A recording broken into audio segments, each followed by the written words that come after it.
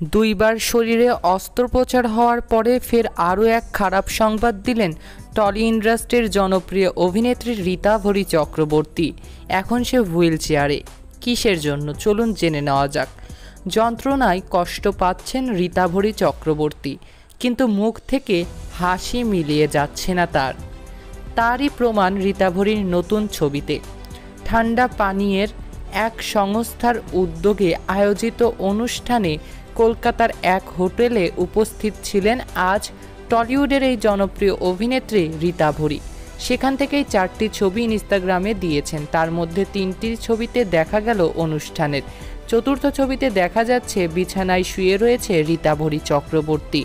শুধু তাই নয়, তার পা রীতিমতো ব্যান্ডেজ করা এবং সেখানেও দেখতে পাওয়া গেল তাকে হুইল চেয়ারে বসে।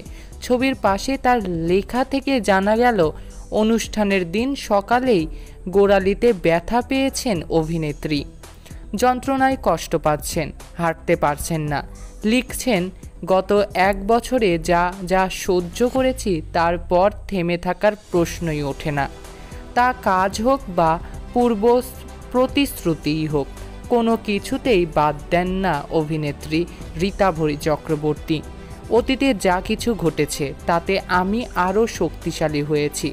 গত মার্চ মাসে জানা গিয়েছিল তিনি গুরুতর অসুস্থ। ফিস চুলাই কষ্ট পাচ্ছিলেন রীতা ভরি।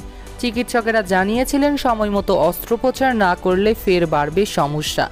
তাই কলকাতায় এক বেসরকারি হাসপাতালেই অস্ত্রোপচার করতে হয় তাকে। এছাড়া আরও একটি অস্ত্রোপচার হয় তার শরীরে। আট মাস শয্যাশায়ী অবস্থায় থাকতে হয়েছিল টলিউড ইন্ডাস্ট্রির এই জনপ্রিয় অভিনেত্রী রীতা ভরিকে। এবার পায়ে চোট পেয়ে হুইল চেয়ারে চলাফেরা করতে হচ্ছে অভিনেত্রীকে।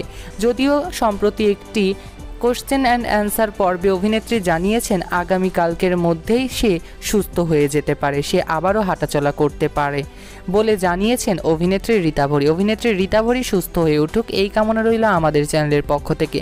ভিডিওটি ফ্রেন্ডস অ্যান্ড ফ্যামিলির সাথে শেয়ার করে চ্যানেলটিকে সাবস্ক্রাইব করে বেল আইকনটি প্রেস করবেন, এমনই লেটেস্ট আপডেট সবার আগে পাওয়ার জন্য। সৈকত আহমেদ নূর সেলিব্রিটি লাইফলাইন ধন্যবাদ সকলকে।